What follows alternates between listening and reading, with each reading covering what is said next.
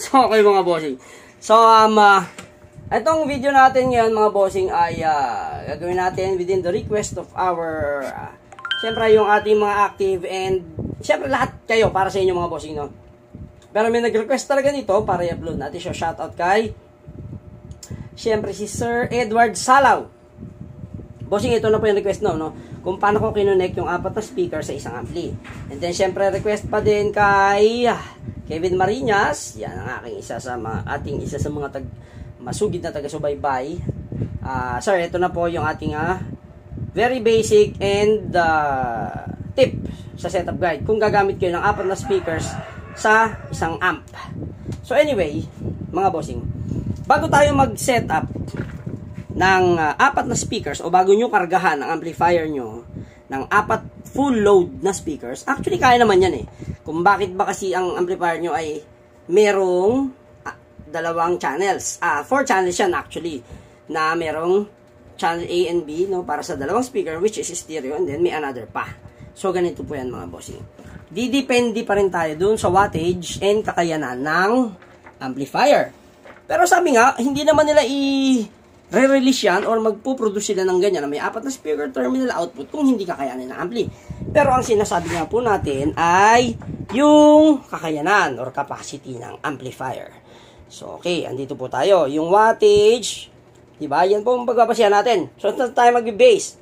Siyempre, yung compatibility between amplifier and speakers.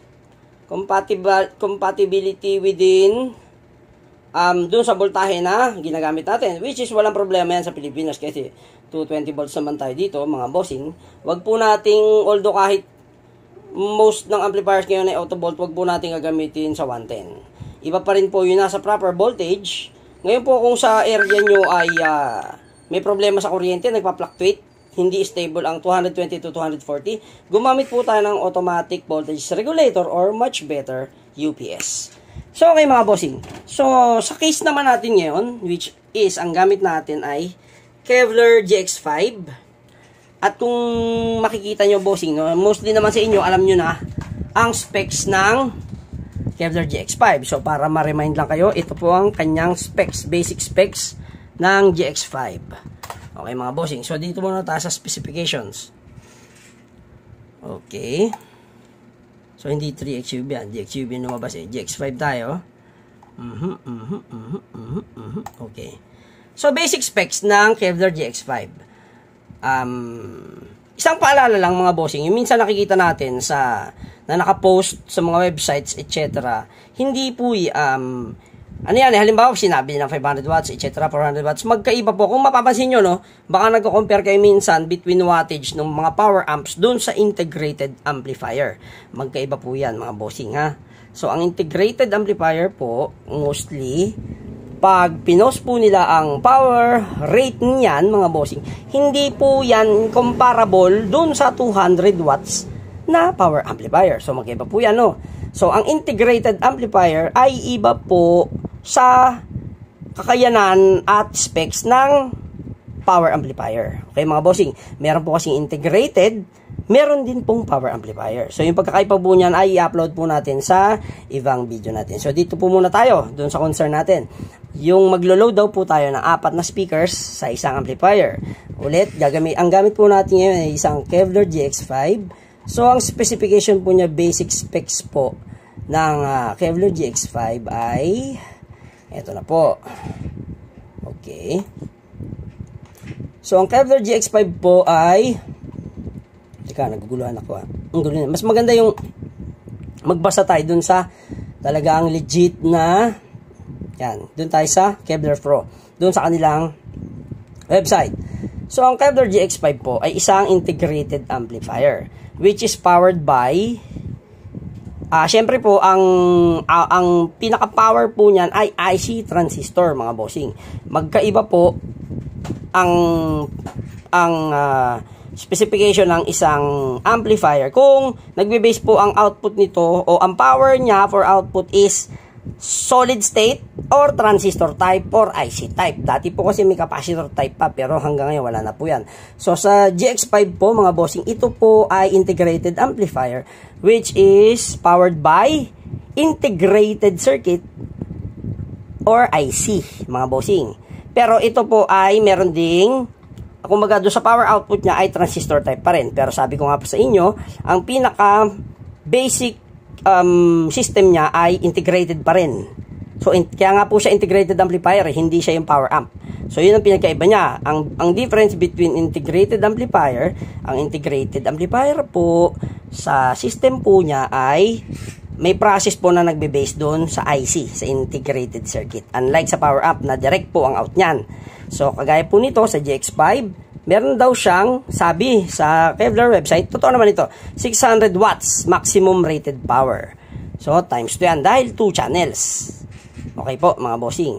So, hindi na natin muna pag-uusapan kung bakit 600 watts itong GX5 uh, at bakit naman yung ibang power amp ay nasa 200 watts lang. So magkaiba po yan. Ito po ay peak power music output na 600 watts. Pero rated po yan, hindi po kagaya doon sa mga mini component. So magkaiba po ah. So para nililino ko lang po sa inyo. So balik po tayo dito sa integrated amplifier specs. GX5. So ang sabi niya, so GX5 ay merong 600 watts times 2. Ano pong ibig sabihin nun? Ibig po sabihin ay meron siyang 2 channels. Yun po yun mga bossing. So pag may 2 channels, so meron kayong left and right channels na available. Although, ang makikita nyo sa likod niya ay may apat na term, uh, speaker terminal output, hindi po nangangahulugan na 4 channels siya. So ito nga po yung papaliwanag natin kung ano yung tamang paglo-load doon sa ating amplifier para hindi siya bumigay or kaya niya bang i-drive yung apat speakers? Dahil yun ang tanong. Okay mga bossing? So ang GX5 ay may 600 watts rated power times 2 2 mic input 2 individual mic volume 2 input source ANV etc etc etc okay. So doon tayo sa kung ang question kasi ng ating bossing na si Sir sino to? Ah, nabanggit ko kanina si Sir Edwin ba yan okay okay Edward Salaw, no? Actually, wala siyang question dun kung kaya ba ng Kevlar. Actually, kaya nga. So, kaya natin ginawa itong video na ito para maipaliwanag sa inyo at mabigyan kayo ng idea na kung hanggang saan kakayanin ni Kevlar GX5 ang pag-load ng apat na speakers. Okay, mga bossing. So, basic. 600 watts times 2, mga bossing, ang kanyang rated power. So, meaning yan, mga bossing, pwede tayong mag-load doon sa isang output niya. So, halimbawa, doon na lang sa stereo. Huwag tayong maglalagay, kung gusto nyo talaga ma-achieve ang talagang kanyang proper drive output, huwag kayong maglalagay ng mas mataas na speaker doon sa rated power na amplifier. So, meaning, dapat po laging mas malakas ang amplifier. Bakit? Para nga po, inyong ma-maximize at maramdaman ang tamang drive or drive output ng amplifier. Hindi porket sinabi na 600 watts ang amplifier, eh maglalagay na kayo ng 600 watts na speaker. Mali po yun. So, ang dapat po, lagi po tayong magbaba. So, from halimbawa, ganito. Uh, sabi niya, 600 watts times 2. So, dapat dyan, either parehas, no, wala po tayong problema ron, pero mas maganda nga po kung mas mababa. Between 400 to 600 watts ang iloload nyo sa kanya. Okay po mga bossing. So basic po yan ano. Pagka 600 watts ang amplifier nyo, pwede po na kung gusto nyo maramdaman yung talagang bayo ng speakers nyo, maglagay lang kayo ng mga between 450 watts hanggang 600. Doon nyo mararamdaman yung talagang bayo. Hindi niya susunugin yun mga bossing kasi integrated amp ito eh. Hindi power amplifier to na pagka mas mababa ang speaker mo, eh kanyang susunugin. So hindi nga po. Kaya nga ito ay may advanced you know, meron tong advanced computer chip na sinasabi na pagka talagang ang load, eh, alam, mararamdaman ng amplifier na susunugin, etc., eh, automatic siyang humihina. Naramdaman ko na yan dahil ginamit ko yan sa electronic drums. So, again, basic, basic po tayo ulit. So, kaya itong GX5, kung marami magtatanong kung anong compatible na speakers dito, pwede rin dito bossing yung KR12, kaya Kevlar na KR12. Walang problema daw mga bossing, pero kung gusto nyo maramdaman yun, tamang bira o tamang bayo ng Kevlar GX5, mas match ito sa KR310. Okay, balik po tayo dito, ano? Doon, tsaka na lang po natin i-feature yung GX7 at kung anong compatible na speakers. So, balik po tayo sa main concern dito. Dahil ito po ngayon, may setup tayo dyan na kinargahan ko siya ng apat na speakers. Okay. Okay po, mga bossing. So, ang ating main speaker output, kinarga natin sa kanya ay ito po. KR310. Dalawa. And then, doon po sa kabilang channel, ang kinarga po natin ay yung ating Crown BF105S, which is rated po siya ng okay max power niya ay 500 watts so hindi pa rin conflict mga bossing kayang-kaya pa din siyang itulak ni Kevlar GX5 dahil 600 watts nga ang rated power ni, ni, ni GX5 so kaya niya pa rin itulak ng todo. Kaya niya pa rin lalong itulak si KR310 so yung nagtatanong mga bossing so iniload ko sa kanya yung apat na speakers na yan, yung dalawang BF105 at dalawang KR310. So, gaya na sabi ko kanina, huwag po tayong maglo-load ng mas mataas or equivalent ng rated power output ng inyong amplifier. So, sa case natin, na ikarga po natin sa GX5 ang apat na speakers na. Hey! Ang kulit pulot. Ang ingay mo. Kumaingay. Okay, babalik tayo. Baby, pakisaway nga. So kay mga bossing, kung tatanungin nyo ako kung advisable para kay Kevlar GX5 na mag-load ng apat na speakers, opo naman bossing. Sabi ko nga po ay compatibility lang ang inyong magiging concern. So sa case natin, Kevlar GX5, nag-load tayo ng yan, dalawang BF, BF 105 which is 500 watts at dalawang KR310 which is 400 watts. Okay mga bossing, kasi ang gagawin naman natin dito, lalo kung pambahay lang mga bossing, ano, eh, napakalakas na po niyan. Actually, kahit sa pang outdoor setup, eh, kung pang mid, kasi ang setup kasi nito, kung pang outdoor, no, pang mid, kaya-kaya na to, napakalakas na nito pang mid. So, kasi pang ilalim eh. So, i-discuss natin yan sa ibang video. So, dito muna ulit tayo sa question si Sir. So, kung paano ko daw sinet up yung apat na speakers sa isang amplifier. So, mga bossing, balik tayo doon sa Keder GX5. So, sa likod ng amplifier, bossing, makikita nyo yung apat na speaker terminal output. So, sa case po natin, mga bossing, inilagay ko yung ating, so makikita nyo yung, ano dyan eh, yung specifications na tama para sa kanya. So, sa speakers A daw, minimum ay 4 ohms. Sa speaker B, ganun din. So, minimum ay 4 ohms pa rin. So, dito tayo magbabase, mga bossing. So, kung pinagsabay mo naman daw, eh dapat daw ay 8 ohms plus 8 ohms kung pagsasabayin mo mga bossing. So, sa case natin, Kevlar GX5 integrated amplifier. So, sabi ko nga kanina, advisable gamitin pang mid. So, ang mga mid woofer kasi mga bossing, ang ohms niyan ay 8 ohms. So, mga bossing, 8 ohms yan. So, mas maingay, mas malakas ang boses, ang vocal range, ang vocal output kesa sa bass. So, kita nyo nga ito, nagmi-minimum siya ng 4 ohms. Ibig sabihin, pwede tayong magkarga ng isang 8 ohms sa isang channel at isang 4 ohms. Kasi yung 4 ohms mga bossing, sa booper yan eh. Okay? Kung makikita nyo mga bossing. So, dito lang, nakalagay lang sa kanya configuration ay para lang doon sa minimal assessment for configuration. So, hindi mo naman dapat sagarin yung bossing kasi talagang iinit ang inyong amplifier. So, sa case natin mga bossing, Parehas lang pong woofer ang ating isinalpak sa dalawang channel, ah, sa apat na output ng ating Kevlar. So, talaga pong kayang-kaya. Dahil nga po, ang Kevlar ay merong 600 watts rated power output.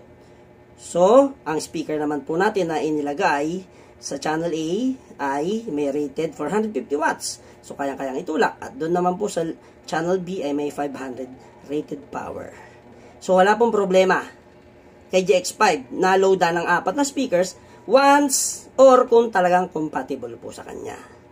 Okay mga bossing, ganito nga rin eh, kung talagang sa pambahay lang, pwede nyo pong gawin dyan sa channel A ay maglagay kayo ng pangingay, kagaya ng BF105 or KR310, at yung sa susunod sa ilalim ng channel niya, sa channel B ay maglagay kayo ng passive subwoofer, which is yun yung pumapalo ng forums, kasi mas malakas kumain pag forums eh mas maano ang drive. Pero kakayanin pa rin niya kung pambahay lang. Depende sa setup niyo mga bossing. So ito lang pinaliliwanag natin ay ito ay conventional setup para sa kung outdoor kaya-kaya nito mga bossing. Or depende sa inyong taste. Kagaya sa taste ko, eh, mas gusto ko talaga yung bumaba yung bayo. So, kung mid, apat na speakers for loading, Keller GX5, 600 watts, kayang-kaya na po niyan. Ang, dala, ang apat na speakers, A and B, basta below 600 watts rated power para maramdaman nyo ang kanyang tunay na bayo. So, ayan po, Sir Edwin Salaw. Yung request mo kung paano ko siya sinetap. Lalo na po, conventional lang. Conventional. So, itong nasa itaas ay yung KR310. Yan, maiksi na kasi wire, hindi na mabot kaya yung tungal maiksi. And then yung nasa ilalim, ayan po mga bossing sabi, ay yung Crown BF105. So, sa ganyan setup, sir, talagang advisable, very, very talagang kayang-kaya niyan. Uh, kahit ako, may advice ko to, lalo kung sa bahay nyo lang or kahit pang outdoor, simpleng kasiyahan, ay swak na swak na po ito, pang mid kung hindi naman kayo masyadong maselan sa sound system, kailangan nyo lang na pang video okay, etc. Actually, dalawang speaker, okay na, okay na. Diba? Kaya nga sabi ko po, depende po yan sa inyong uh, sound uh, system earbuds, kung paano nyo po pakikinggan at kung saan kayo makakontento sa tunog. Pero dun sa mga conventional uh, video okay setup para sa bahay, party-party sa bahay or compound, sa outdoor na rin ay kaya na rin yan kaya-kaya na po nito ng Kevlar GX5. Loadan nyo po ng dalawang KR310 at or kahit apat na KR310 or kahit apat na Crown BF105. Okay mga bossing. So sir, sana po ay nasagot ko ang inyong Sir Edwin Salaw, ano? Edwin nga ba? Edwin ako ng Edwin. Sisiguro din na. Edward Salaw. So ayan lang bossing. Ganyan lang siya kasimple. So from speaker output, apat na speaker terminals. Dilagyan po natin, kinargahan natin ng compatible speakers na kayang i-load dun sa amplifier natin. Papunta po dun sa mga input ng speakers. Di po? Kasi gaya ng lagi ko sinasabi, very logic from output to input.